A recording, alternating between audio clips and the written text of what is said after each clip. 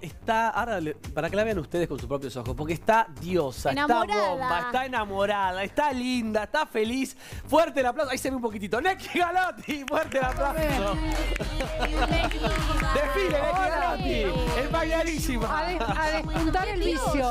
Tan elegante siempre, tan regia, tan ¿Quién estupenda. te vistió, Neki? Nada, ropa mía que agarré esta mañana del placar. ¿Cómo va, Neki? Bienvenida. Bien, ¿Cómo un placer verlos, chicos. Bueno, no está Carmen Feliz hoy. 2023. Feliz no nos 2023, habíamos no visto sabemos. ¿Te hicimos madrugar? No, yo me despierto temprano siempre. hora? Me- alrededor de las 7, 7 y media estoy ¿Sola o con alarma? Sola, sin Ay, qué alarma. suerte, es como tremendo, Carmen. Es bien. tremendo. Llevé a mis hijos al colegio Bien. durante 25 años. Digo, Claro. ¿por qué? Porque primero llevé a los más grandes y cuando Sí. estaban... Pero aparte por el placer de llevarlos, de, de compartir la mañana. Yo trabajé toda la vida, a la tarde a veces cuando llegaban del colegio no estaba, entonces a la mañana les daba el desayuno. Disfrutabas de eso. Disfrutaba de eso y lo llevé hasta quinto año. ¿Alguno te Ya daba? grande. Y cuando terminaron los grandes Arrancó. empezó Santos. Entonces, durante 25 años de mi vida llevé chicos al colegio y fui la mujer más feliz de la tierra. Sí, vamos a charlar al línea, Dale, estamos sí, acá. dale. para- pasa, Neki, ahí el, el almohadón Rojo es tuyo, como dice Carmen. Sí. Nos hace acordar a Eh, Carmen. ¿Disfrutabas esos ah. planes? De, ¿Te costaba levantarlos? ¿Renegabas un poco o no te Y- dieron sí, trabajo? pero les di, eh, les, les di el hábito de levantarse con alegría. Yo me, despierto, tengo la dicha de despertarme contenta. Soy de las que, ¡ay, buen día! haces que- yoga, además practicás. eh, Sí, sí, sí, sí, me gusta cuidarme, me gusta... De chiquita hacía danzas en el Teatro Colón, estuve en el Instituto Superior de Arte del Teatro Colón, dejé por la altura, es una historia que conté muchas veces, pero todas mis compañeras eran mucho más chiquitas que yo, y llegué hasta séptimo año porque como tenía condiciones para bailar, seguía pasando los exámenes, pero cuando pude pensar con la mente fría en el corazón caliente, es decir, a mí me encantaba la danza. Sí. Pero un día me di cuenta que realmente en el Colón no, no tenía futuro porque el cuerpo de baile tienen que ser Todas todas, parejas. parejas. Y también la primera bailarina también, y las ¿eh? solistas y, y los bailarines eran más bajos que yo y me di cuenta que o me iba a- al exterior, a Alemania o a un ballet de danza moderna tipo Balanchine o algo así. Eh, no, no tenía futuro en la Argentina y un día tomé la decisión de, de dejar la danza, pero siempre me cuidé y siempre la disfruté y, y hago Y después, gimnasia sí, y, no, y- y después seguiste en otro rubro que también tiene mucho que ver con el cuidado del cuerpo y donde Sí. también tienes que. tiene- hay exigencias físicas en el mundo del modelaje. Exacto, y siempre lo pude tomar desde un lugar sano, porque vos, vos sos bailarina, Sí. Steffi, y, y sabés que en la danza las, las bailarinas son muy delgaditas, pero si no se alimentan bien, si no se alimentan de una manera inteligente y sana, no pueden dar en un escenario no todo lo mucho, que por tienen eso que dar. siempre hice danza clásica, pero me corrí para, para lo comercial porque yo tenía mucho ¿No gusto. sufrías? Claro, sí, porque- tenías que ser así. Siempre me sentí gorda y era flaca y siempre me vi obesa al lado de las demás. Eh, y me di cuenta que me iba a estresar que tampoco era lo que el estilo que más me gustaba, si bien es la base y es lo que más necesitas, Mm. el clásico y el contemporáneo, dije, me encanta lo comercial, el hip hop, el jazz, me gustaba más ese estilo y dije, acá me voy a estresar y la voy a pasar ¿Te mal. pasó a vos lo Pero- que cuenta Steffi alguna vez? Eh, ¿O en No, el yo me baile? veía o- obesa. A mí o lo que me el- el pasó- modelaje lo que me pasó es de que yo- gorda y... No, eh, eh, yo concibo, eh, la es decir, uno tiene que estar bien alimentado. Y cuando era modelo también estaba bien alimentada. Eh, teníamos la suerte de que en aquella época no fuera tan exigente la, extremada delgadez. Ahora una chica de mi altura tiene que tener 38 de, de- de talle para desfilar. Nosotros teníamos 42. Éramos delgadas pero sanas. La sanidad O sea, era en ese fundamental. momento se En pedía ese- 42 de Eh, talle talle, y hoy 42, 38. que Sí, es pero volviendo al ballet, no hay una bailarina gordita. No, pero este- tiene que estar bien alimentada porque vos no aguantás Por hacer eso, no, todo todo es un muy todo un todo un, un- un acto de no sé del lago de los cisnes de cuerpo de baile de, prim- de solista de primera bailarina lo que sea no no aguanta el cuerpo si no está bien alimentado No, alimentado con que- inteligencia con frutas con verduras con con un eh, es decir Y no creo que es gane- decir, la, de- la delgadez tiene que ver con, o, o el estilo de físico, con la buena alimentación. Porque una chica que no está bien alimentada, que baila, o un deportista que trabaja con su cuerpo, no, no puede rendir Bueno, el volvemos máximo. a lo mismo, lo que decía recién la mamá de Holder, que le había recomendado el psiquiatra a Holder. Si bien es por otro bien. tema, pero estar bien alimentado. Claro. Eh, Sí, pero vos cuando sos chico te querés comer un kilo de helado y chocolates con tus amigas, lo disfrutás a esa edad. Sí. Y otra cosa que yo pensaba con las bailarinas era cuánto ganarán por mes, porque te estresás, no Ay, a la Yo lo pensaba. Vos sos... Yo lo pensaba, digo, ¿cómo ¿cómo te sería mi plata? economía? Bueno, pero el arte- Mis compañeras, mi- yo siempre si no es negocio no lo hago. Entonces como que digo, Tenías mis compañeras meta, se venían a Buenos Aires a pensiones a vivir, que yo lo hice también, yo viví en una pensión, pero sabía que iba a construir un camino que me permitía crecer. crecer Claro. Y económicamente. ellos claro. yo veía que no iban a Que crecer no. mucho económicamente. No está bien pago. El, ba- el trabajo del bailarín en y Argentina que es está tan sacrificado y que tienen que entregar, es- Todo. es decir, todo, son Su vida. horas y horas de entrenamiento, de clase, trabajar de, de de perfeccionamiento, de, de- de cuidado, de, de pulir la, la- la- la postura, la pose, el pie, la... yo así, viste, la, la- la flexibilidad es un trabajo eh, donde tenés que tener una vocación Se fue para cualquier lado la inmensa. charla, No, pero porque hizo- queríamos hiciste hablar del amor. Bueno, fue No, una pero, es No, no, está interesante bien, está y hay algo, que, hay algo que tiene que ver con, con- con mi época de modelo, que ahora es totalmente distinta. Cuando yo era modelo en la década de los 80, no existía el Photoshop. Entonces Claro. nosotros, a la hora... No existía. Hoy por hoy, si tenés unas ojeras por acá, si, si, si no te brillan los ojos, si- eh, te, te lo arreglan todo con el Photoshop porque te ponen el brillito Exacto. en los ojos, la sonrisa. La... En cambio, en nuestra época, nosotras cuando íbamos a hacer las fotos para las editoriales, para las revistas, que teníamos que ir a las 6 de la mañana porque tenía, si eran exteriores, era el momento que salía el sol que te daba de lleno en la cara. Si tenías ojeras, si no tenías vitalidad, si- todo eso no se disimulaba. Salías... Entonces tenías que ser sana realmente, estar, estar bien y, y si tenés que transmitir alegría, que te salga de, de- De verdad. del Pero alma, nunca- porque no pero- había ninguna máquina que te la pero arreglara, nunca te solo la sentir luz. mal por tu físico en no, ese trabajo. yo tengo un estilo, mm, mi, mi- mi cuerpo, cuerpo. es largo, es, es longilíneo, tiene que ver con, con lo que, por suerte ahora todo cambió.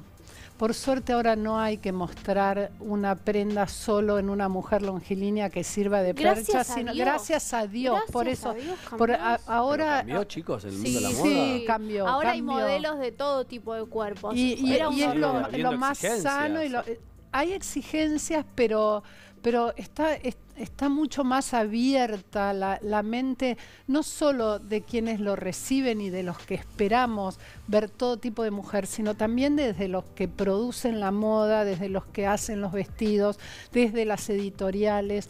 Eh, realmente yo noto un cambio muy grande, muy, muy grande. Bueno. Y, y está bueno, pero siempre el mensaje es la salud. Tener, seamos más altas, más bajas, más, más anchas, menos anchas. Lo importante es estar bien alimentados, lo importante es poder transmitir una vitalidad genuina. Eh, por supuesto que, también se trabaja con las discapacidades, es muy amplio, ¿no? Y, y también está bueno porque esto es lo que sucede. A mí me pasó cuando me operé de la cadera, yo, me hicieron un reemplazo de cadera hace dos años. Sí.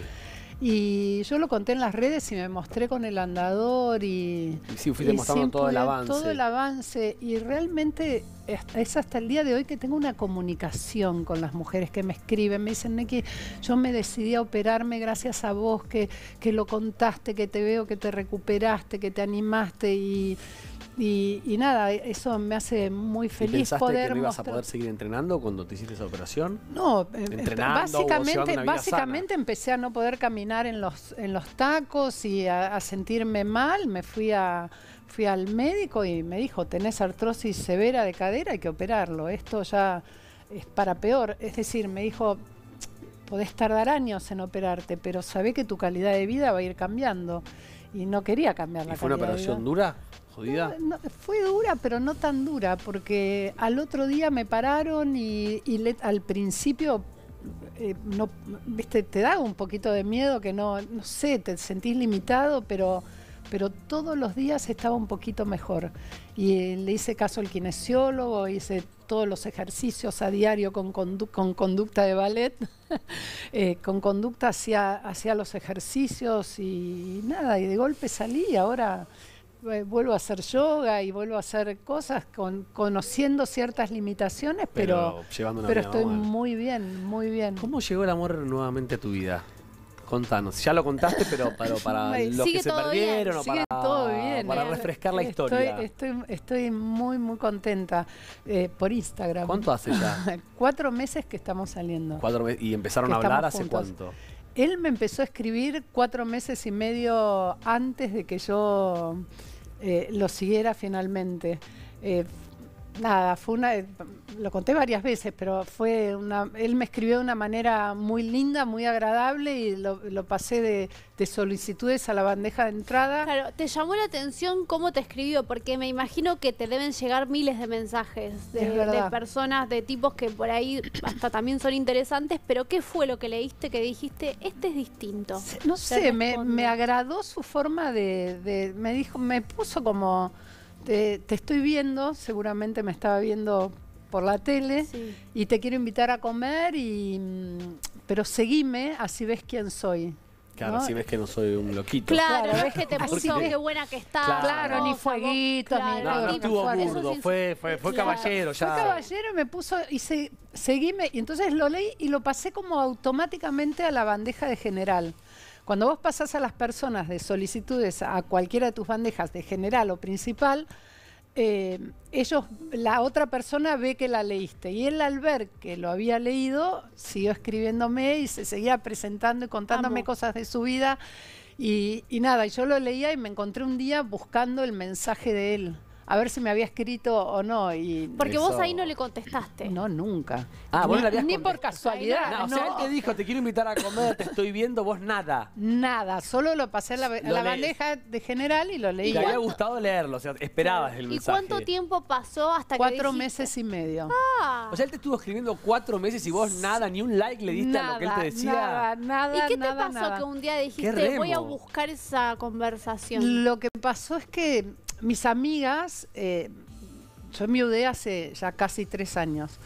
Y mis amigas, cada vez que nos reuníamos a comer, me decían, Neki, tenés que salir entre la pandemia. A vos te agarró como el, el- el- Encima, el síndrome de la cueva. Yo Tu estaba muy marido murió en pandemia. cuando Murió en estaba marzo, cuando ¿no? empezaba exactamente y y las chicas me decían tenés el síndrome de la cueva yo iba a trabajar a Canal 9 a- con Maju volvía y me quedaba en mi casa y no quería hacer nada y a lo sumo salía con las chicas a, a- a comer con mis amigas o hacíamos los, los famosos zooms con la, la copita de vino y bueno y las chicas me decían me decían salí salí salí y un día para que no me no me hinchen más digo miren chicas y lo busqué. Con el único que saldrías con este, hice así. Y les mostraste la y les mostré conversación. las conversaciones y me decían, ah, pero es, es- es insistente. No, pero mira qué bien que escribe. Y nos pasábamos todas, Lo analizaban. Y todas fueron Y dando todas, el visto claro, bueno. dale, seguilo, no seas tonta. No, porque encima habían salido en Netflix todas estas series La de, de los. Ay, y yo decía, no, si es un estafador. Era un mira". prejuicio por la forma de, de Claro, Qué conocerse. hermosas Claro. fotos estamos viendo mientras nos contás la, la historia. Eh, Eh, ¿Y, y a qué se dedica? Y entonces él es, eh, trabaja en comercio exterior. Ahora, Exporta carnes argentinas al mundo. Ah, me bien. encanta. Antes de responderle, lo investigaste porque todos hacemos esto. Eso lo lo hizo- googleás, Lo hizo una amiga que mía. no tenga antecedentes Yo estaba, Eso. yo estaba en la pachorra de decir, "N- con el único que saldría es con este, Y lo pero, investigaron. pero entonces una amiga mía eh, con la que bicicleteo, bicicleteaba, pues la tengo, Lorena, perdón, Tenés que la tengo abandonada porque los domingos estoy ocupada ahora. Todos los domingos eh, nos fuimos desde Belgrano hasta, hasta Victoria y nos sentamos en un barcito y le, entonces me decía, me dice, pero ¿por qué no lo aceptás? Y le digo, no, porque tengo miedo, qué sé yo. Entonces me dice, pasame los datos que yo te lo, Te lo Amo. investigo. te lo investigo. Amo eso. Si hay que hacer eso, Te yo lo investigo. siempre hago Mi eso. amiga a la noche me llama y me dice, bueno, te quiero contar que todo, Lorena, te quiero contar que todo lo que te dice es verdad. Todo, absolutamente. Más aún trabaja dice, lo que te dice, no trabaja, en antecedentes ante- trabaja, en, trabaja en tal lugar.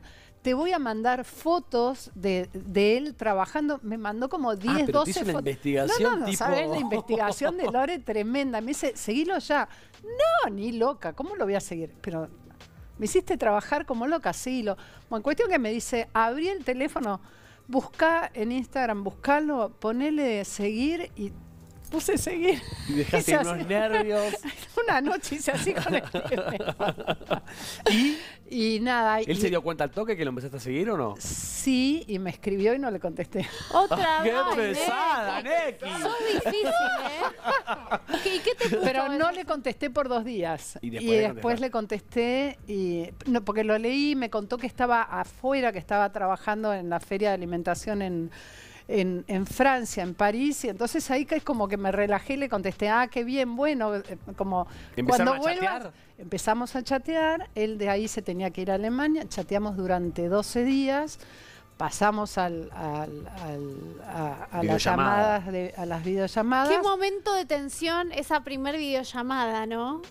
No, qué felicidad, porque ya Ah. nos veníamos hablando hacía dos o Pero tres él o cuatro te, días. te hizo videollamada sin avisar, por ahí no, estabas yo le pedí la videollamada. Ah.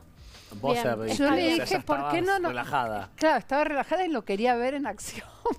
qué sé yo, verle cara. ¿Y después cómo fue el primer encuentro? Y entonces durante 14, 12 días hicimos videollamadas que él estaba viajando, trabajando, entonces cuando podíamos nos pasábamos una hora y cuarto hablando, pero hablando que es maravilloso porque empezás como a conocerte.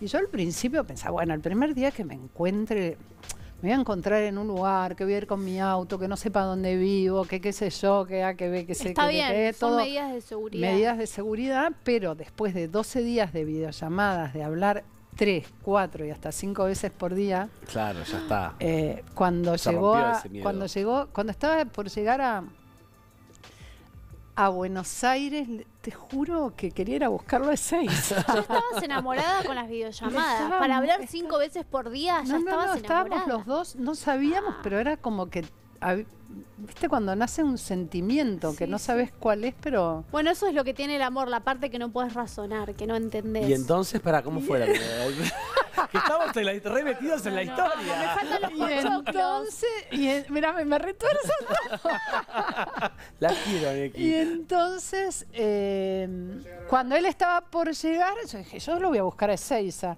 Pero no, tenía todo organizado. Entonces, Claro, no lo fui a buscar a A mí no me gusta cuando me van a buscar. No, ¿No? pero aparte ni nos Llegas todo conocíamos. chivado del vuelo, no, no es lo mejor. Yo creo que se cuidó de eso. No es tu más- mejor versión Sí, después sí, de sí, sí. viajar.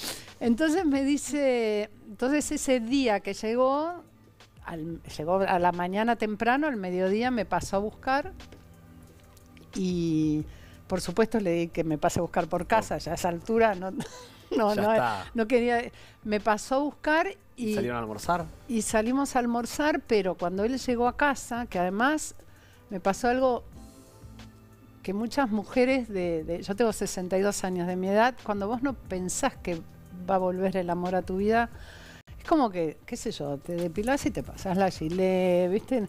Nada, es como que me preparé para una, como una adolescente Claro, casi, para ese primer encuentro. Yo no lo podía creer, estaba feliz. Justo estaba mi hermana que había venido de La Pampa y mi sobrina que también había venido de Córdoba, no me acuerdo por qué ese fin de semana. Y, y, y le digo a mi sobrina, ay, y se abre, porque yo me hacía el brush, nada, una cosa que, Y bueno, ¿viste? está bien. Este, Pero es re y entonces le digo, le digo a mi sobrina, ¿y si ahora no viene? ¿Y si me planta? Y Ay, mi sobrina me dice, mi sobrina me dice, tía, No te hagas tranqui. Hace 15 minutos que está esperando en una esquina que se haga la hora. Viste, la- las jóvenes, los jóvenes que son maravillosos me dice, tranqui, tía.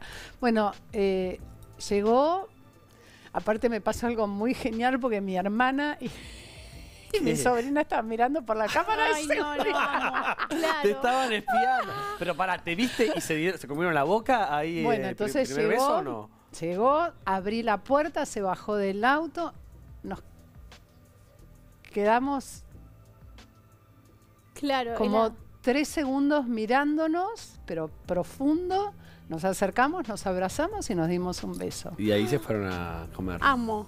Qué lindo. No. Pero, pero para, Neki, porque no me yo, me acuerdo, no, yo me acuerdo que una de las últimas veces que habías venido al programa, antes de, de estar conociendo, de, A de estar de Pablo. novio, sí, nos habías dicho que tenías ganas, que tenías ganas de enamorarte. Sí, la pero porque todos me preguntaban y yo decía, sí, bueno, si llega, por supuesto, qué sé yo. no Claro, Pero sé. ¿qué pensaste que no ibas a volver a. No, no pensaba, suce- esto sucedió, es, lo, es lindísimo cuando las cosas suceden. Sucedió, fue, fue, la verdad que fue re, re lindo. A mí me sorprendió y, y no, porque evidentemente estaba abierta a conocer a alguien. De hecho, en la pandemia, en algún momento, amigas mías me, me, me decían, Neki, ¿estás libre? Sí, yo qué voy a estar, no estoy con nadie. No, no, y, y- y he salido alguna vez con alguien, pero lo así como salía la primera claro. vez, no que te volví a casa y decía, ay no, no quiero ¿Por saber qué? nada. Y, y gente linda da y todo, culpa, pero- porque